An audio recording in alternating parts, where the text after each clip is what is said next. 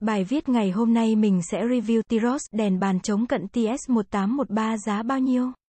Mua ở đâu? Có tốt không? Xem hết video này để rõ hơn nhé. Đừng quên bấm like, share hoặc comment nếu bạn thấy video này hữu ích. Nếu bạn quan tâm về sản phẩm vui lòng để lại số điện thoại dưới phần bình luận video này nhân viên tư vấn bên phía nhãn hàng sẽ liên hệ lại tư vấn cho bạn miễn phí.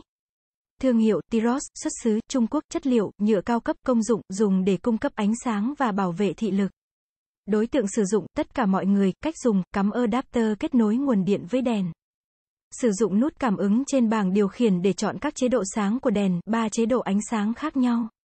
Ánh sáng vàng, trắng, trắng vàng, bạn chỉ cần chạm nhẹ ở thanh trượt lên xuống của thân đèn là có thể thay đổi cường độ sáng tối của đèn phù hợp với từng nhu cầu sử dụng.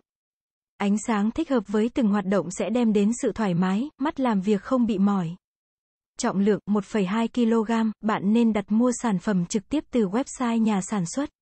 Đặt mua từ website nhà sản xuất bạn sẽ được hưởng các chương trình ưu đãi quà tặng kèm cũng như là được giảm giá và đảm bảo mua được sản phẩm chính hãng đảm bảo chất lượng. Các bước mua sản phẩm như sau, click đường dẫn liên kết bên dưới mô tả của video này để chuyển sang website nhà sản xuất. Để lại thông tin liên hệ, chuyên gia bên nhà sản xuất sẽ gọi lại ngay cho bạn để tư vấn chi tiết về sản phẩm. Sau khi tư vấn xong nếu bạn thấy sản phẩm phù hợp thì xác nhận đặt hàng. Bạn chỉ phải thanh toán sau khi nhận được hàng tại nhà. Nếu vẫn còn những thắc mắc về sản phẩm, đừng do dự hãy truy cập website nhà sản xuất và để lại tên và số điện thoại liên hệ. Nhân viên tư vấn sẽ trao đổi giúp bạn giải đáp mọi thắc mắc về sản phẩm. Lưu ý, hiện nay trên thị trường có rất nhiều sản phẩm làm giả kém chất lượng. Không đạt được hiệu quả thực sự như hàng chính hãng, để có thể mua được sản phẩm chính hãng.